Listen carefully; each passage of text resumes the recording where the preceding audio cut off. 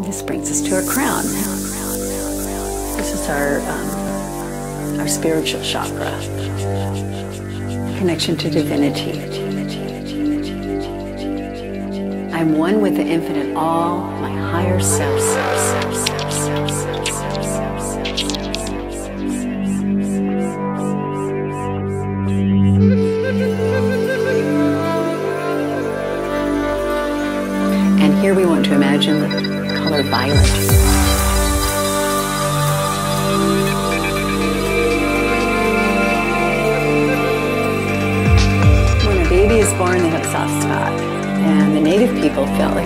Thread that connects them to heaven. And so we want to open that up, not on a physical level, but on a spiritual level. We want to open up our connection to, di- to divine, the divinity, divinity, divinity.